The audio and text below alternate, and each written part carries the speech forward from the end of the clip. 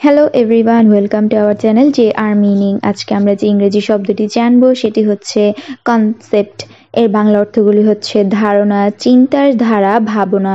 নিচের দুটি উদাহরণ দেওয়া হলো। প্রথম উদাহরণটি হচ্ছে the concept of sustainability is important for the environment এর বাংলা অর্থটি হচ্ছে পরিবেশের জন্য টেকসই তার ধারণা গুরুত্বপূর্ণ। দ্বিতীয় উদাহরণটি হচ্ছে they discussed the concept of time in physics এর বাংলা অর্থটি হচ্ছে, তারা পদার্থবিদ্যায় সময়ের ধারণা নিয়ে আলোচনা করেছে। ধন্যবাদ।